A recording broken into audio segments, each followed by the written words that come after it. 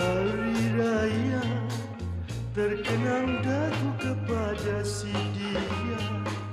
Kampungku indah menjauh di sana Ayah serta bundaku. Assalamualaikum warahmatullahi wabarakatuh.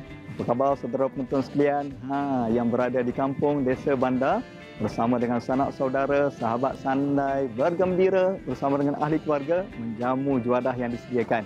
Maklumlah, hari ini kan satu Syawal 1435 Hijri. Oleh itu selamat Hari Raya Aidilfitri minal aidin wal faizin. Hmm, saudara penonton sekalian, di samping kita bergembira dengan sanak saudara, hari ini di dalam bingkisan Aidilfitri kepulangan yang dinanti. Ha, nak tahu apa yang pulang, apa yang dinanti? Apa kata jom kita lihat sketsa yang telah disediakan.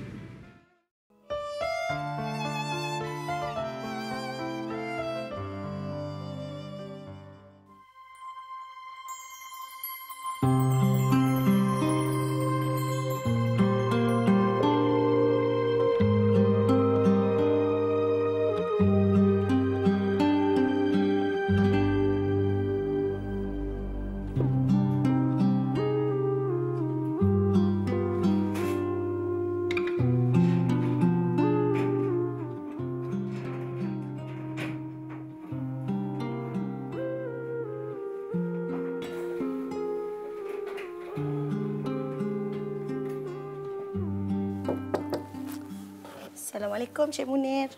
Waalaikumsalam. Cik Munir jangan lupa ya, hari ini ada mesyuarat berkenaan dengan uh, apa majlis berbuka puasa bersama anak yatim dengan media ya.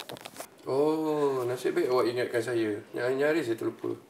Uh, berapa sumbangan yang kita setuju untuk kita sumbang ke rumah anak yatim tu kan? Uh, jumlahnya 10,500 dan uh, setiap sumbangan hari raya 2,000 untuk lima orang penghuni.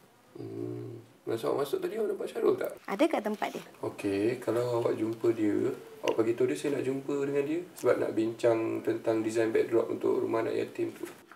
Okey, baiklah Cik Munir. Cik Munir, saya nak minta cuti untuk uh, menyambut Ramadan nanti.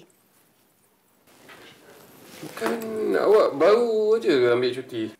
Uh, hari tu cuti adik saya kahwin. Ni cuti untuk menyambut Ramadan.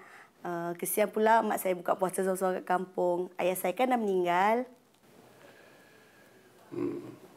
Saya boleh luluskan permohonan cuti awak ni tapi awak pastikanlah kerja-kerja awak semua siap sebelum majlis sambutan uh, anak-anak yatim tu. Okey, Cik Munir. Okay, kalau tak ada apa-apa nanti awak uh, panggil Syarul masuk jumpa saya. Baiklah, terima kasih. Ha,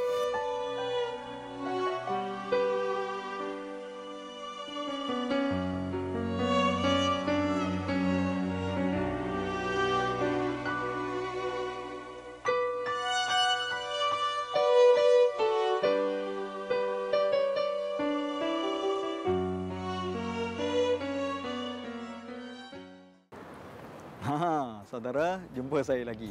Baik. Saudara penonton sekalian, Islam mengajarkan kepada kita untuk taat dan berbakti kepada ibu dan ayah kita.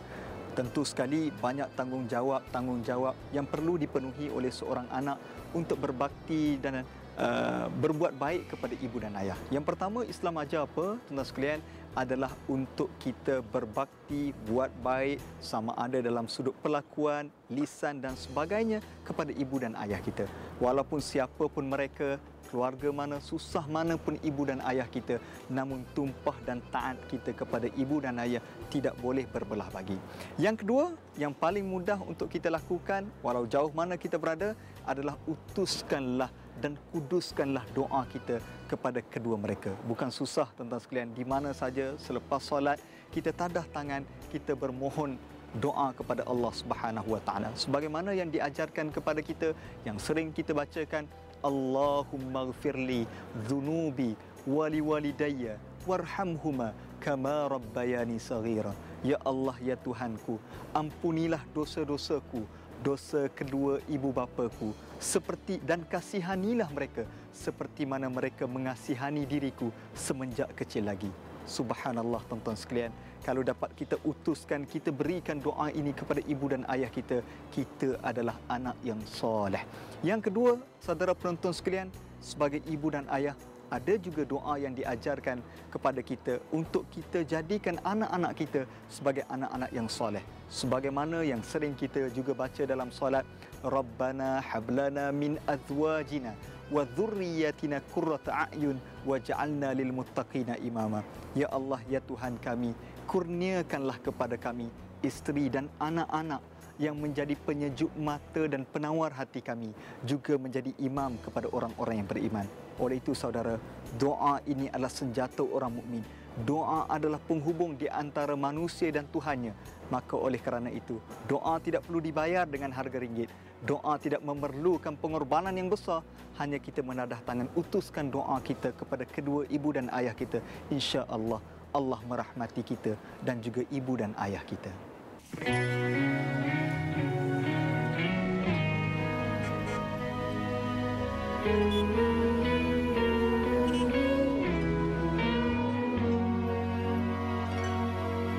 Dunia pasti berputar Ada satu Eh, apa bini abang buat malam-malam buta ni? Eh, abang dah balik? Baru je balik. Tunggu abang lah. Abang nak minum? Boleh juga. Tak elok malam-malam duduk luar ni.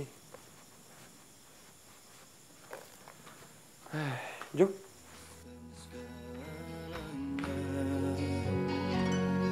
Jalani semua yang ada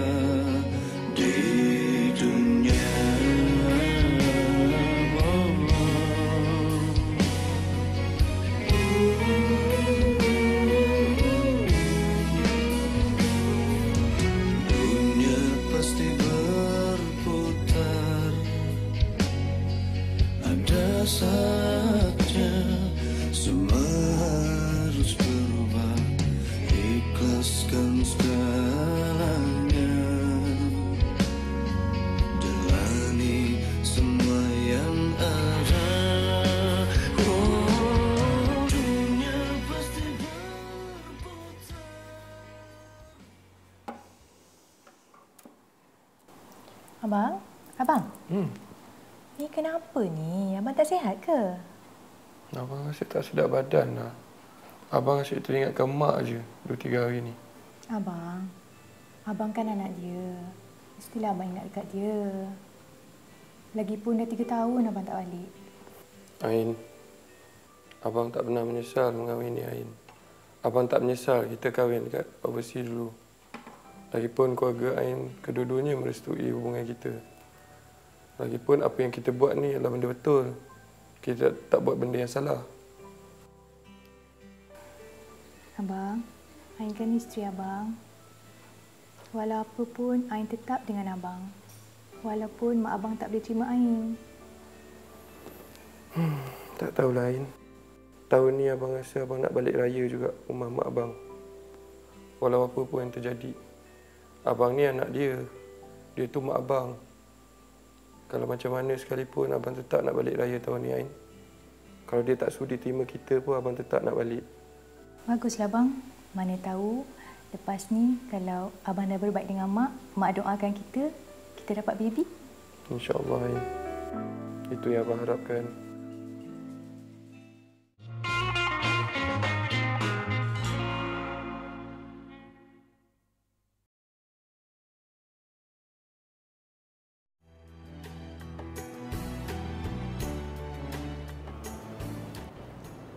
Begitulah saudara, bak kata pepatah, sulah terhantuk baru tergadah. Namun begitu saudara, setiap manusia penuh dengan masalah dan ujiannya. Tidak ada lautan yang tidak berombak, tidak ada tanah yang tidak dituruni hujan. Oleh itu sebagai manusia tidak boleh lari daripada masalah dan ujian. Seorang anak punya masalah tersendiri, kedua ibu dan ayah juga pikul beban amanah tersendiri. Namun bagaimana Islam mengajar kita untuk taat dan bertoleransi untuk mewujudkan keluarga sakinah dalam rumah tangga kita. Sebagai seorang anak, tentu sekali kita kena meletakkan ketaatan kita sepenuhnya kepada ibu dan ayah selepas Allah dan Rasulnya. Nabi Muhammad sallallahu alaihi wasallam bersabda, keredaan Allah terletak pada keredaan ibu dan ayah. Oleh itu, sekiranya kita merajuk terasa sedikit sebanyak dengan ibu dan ayah kita, lupakanlah. Ha, takkanlah muka metal tetapi hati penuh dengan taman, merajuk. Jangan. Tinggalkanlah masalah lalu, kembalilah kepada ibu dan ayah kerana mereka adalah kedua ibu dan ayah kita. Kerana saudara penonton yang dirahmati Allah, Allah Subhanahu wa taala menyebut di dalam Al-Quran yang maksudnya jangan kamu berkatakan ah walaupun dengan perkataan ah kepada ibu dan ayah kamu tetapi buatlah baik kepada keduanya mereka. Insya-Allah Allah Taala akan bagi ganjaran pahala kepada kita. Bagi ibu dan ayah pula lapangkanlah data, maafkanlah kesalahan anak, hilangkanlah perasaan merajuk, tersisih dan sebagainya, tetapi pertautkan kembali. Hmm, dia bukan orang lain juga, anak darah daging kita juga. Oleh kerana itu, kita tiada jalan lain kembali kita untuk kita mempertautkan di antara ibu dan ayah. Oleh itu saudara, waktunya bila? Jangan tunggu lama. Aidilfitri inilah untuk kita jalinkan kasih sayang di antara satu sama lain. Insya-Allah dengan barakah Aidilfitri ini, dengan keberkatan hari kemenangan ini, kita akan menjadikan anak, ibu, ayah, sanak saudara kita sebagai keluarga sakinah yang diberkati dan dirahmati oleh Allah Subhanahu wa taala. Apakah ini masih berkaca Sedang ku telah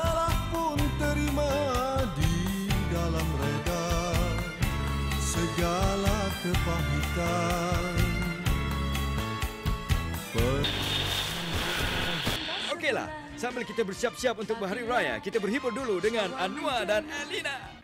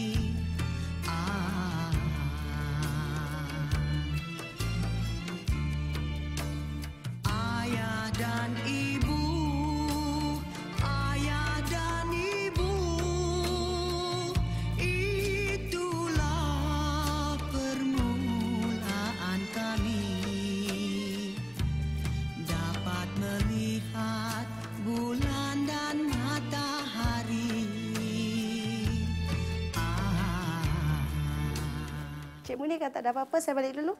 Okey balik jalan dulu eh. Okey, Assalamualaikum. Salam. bahagia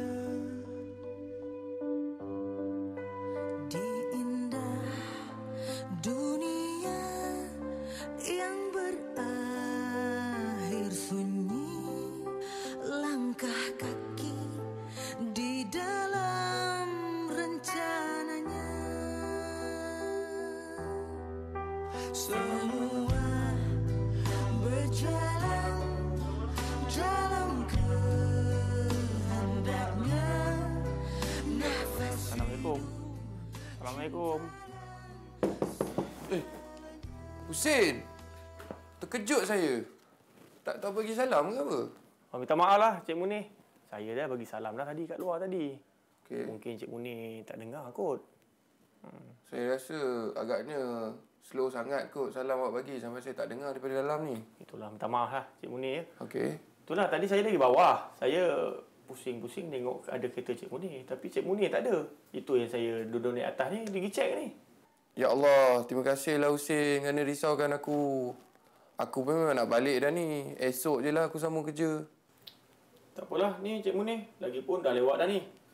Cik Munir kemas barang. Saya teman Cik Munir tu ke bawah. Ma, kau tunggu aku sekejap. Mungkinkah hati merindukan dia? Karena hanya dengannya hati tenang Damai jiwa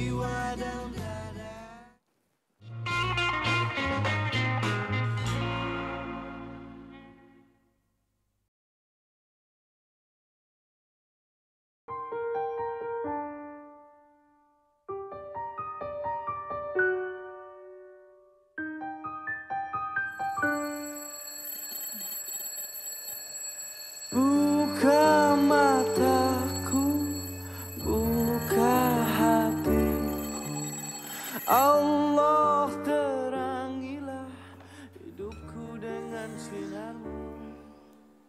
Aku Bang, bang, bang.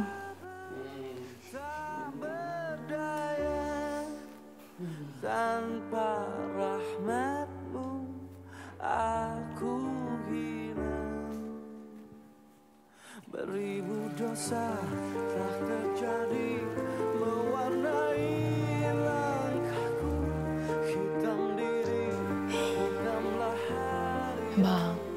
bang bangunlah bang. Bang, bangunlah sahur. Gelap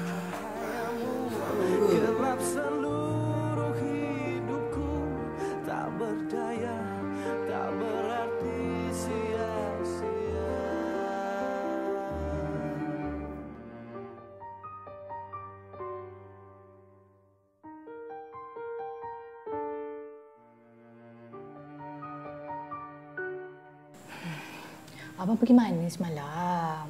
Baik lambat sangat. Tu yang susah nak bangun. Hmm, tak abang kat office sebenarnya. Lambat balik pukul 11 tu. Lepas isyak tu badan letih terus tidur. Abang, Apa dia? ah, ni ada berita baik. Apa dia berita best tu? Mak cakap dengan Ain tau. Mak tanya apa ah? Hmm, Mak tanya khabar abang, Mak tanya khabar Ain. Hmm, macam-macam lah kita orang borak-borak semalam.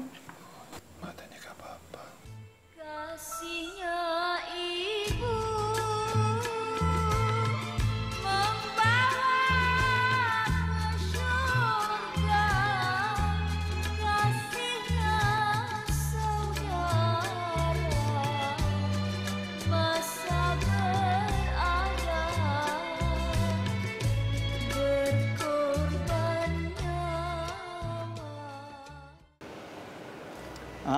saudara, ah itu rupanya kepulangan yang dinanti. Apa yang pulang, apa yang dinanti telah kita saksikan sebentar tadi. Baik. Saudara penonton sekalian, bila kita sebut soal kemeriahan Aidilfitri, apa yang jelas tergambar?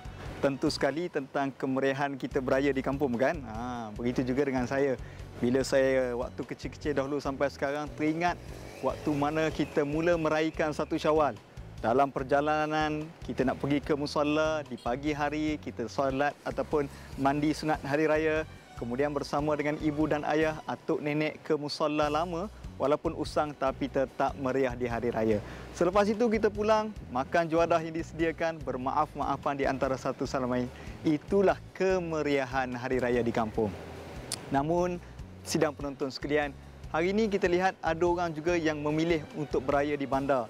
Ada juga yang buat keputusan untuk keluar negara bercuti menyambut Aidilfitri. Sedangkan kita lupa bahawa di kampunglah tempat kita lahir itulah fitrahnya kita. Bukankah Aidilfitri itu adalah kembali kepada fitrah, kembali kepada asal kejadian kita orang yang baik, orang yang telah diutuskan oleh Allah Subhanahu Wa Taala untuk menjadi khalifah di muka bumi ini.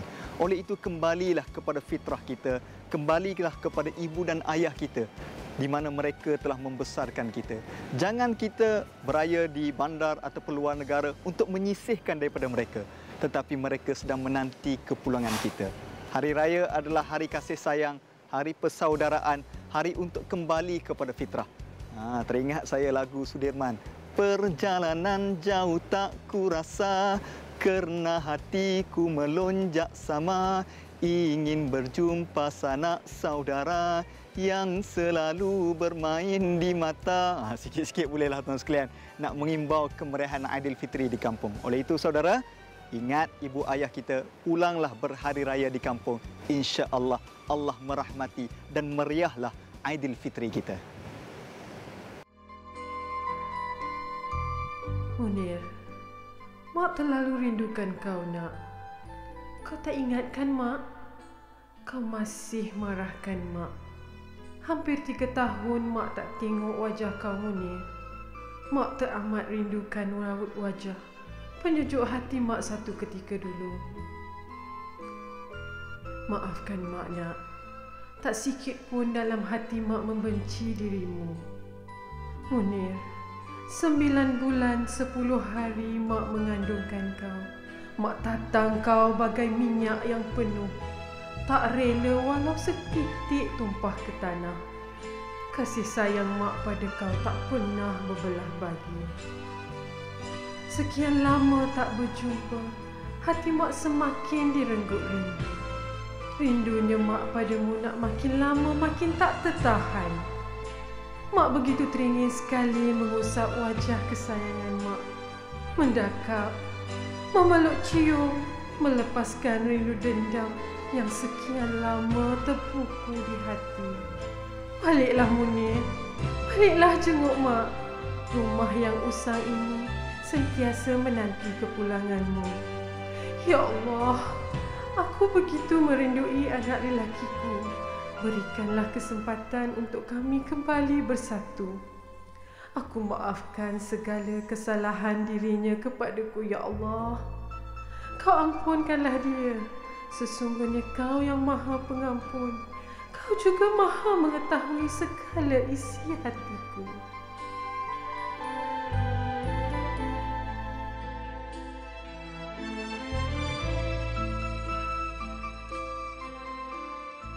Allahu Akbar, Allahu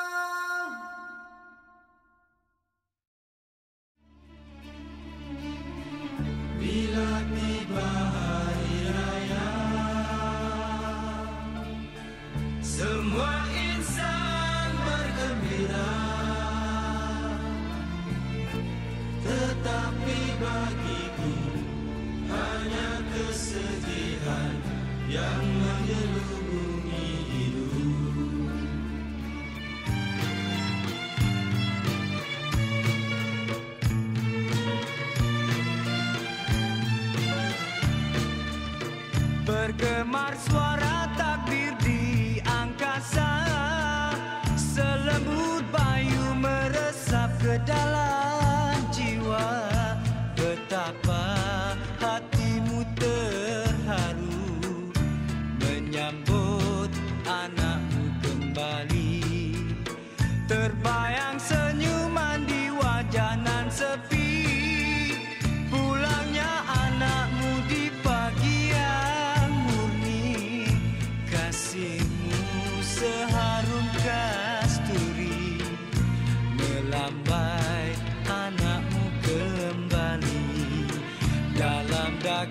by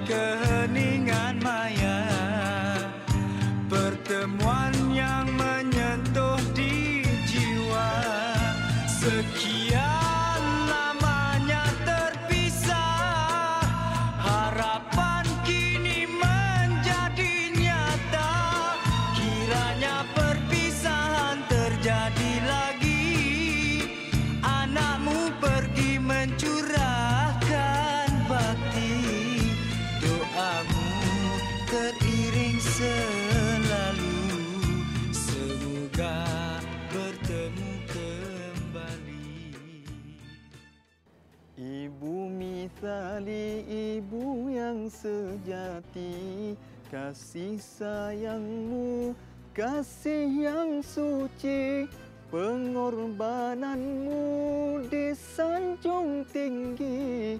Jasamu tetap disanubari hmm, Saudara penonton sekalian, begitulah pengakhiran sketsa kita kepulangan yang dinanti. Di samping kemeriahan Aidilfitri kita tetapi kita kena perlu berbakti dan kita memohon ampun di atas kesalahan-kesalahan kita kepada kedua ibu dan ayah kita. Ciumlah tangan mereka, mohonlah ampun di atas segala salah kita sedari kecil sampai ke hari kini. Kita adalah manusia biasa, tidak lepas daripada kesalahan. Jika ada terasa hati, ingatlah jasa ibu, ingatlah jasa ayah.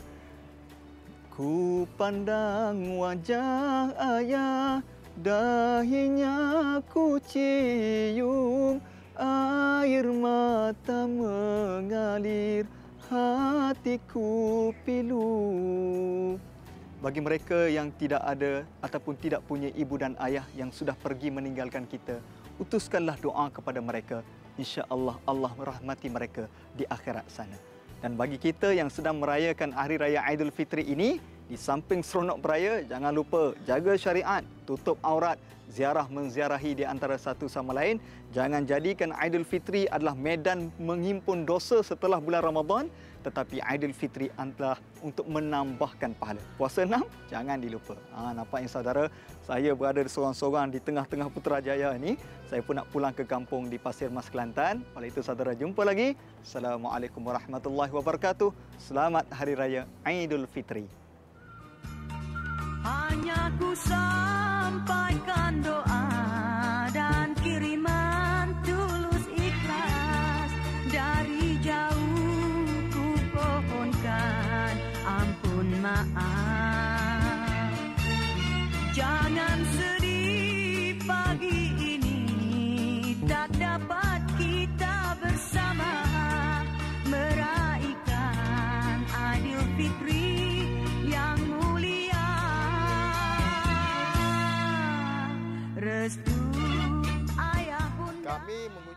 mengucapkan Selamat Hari Raya Aidilfitri. Maaf zahir dan batin. Anakmu yang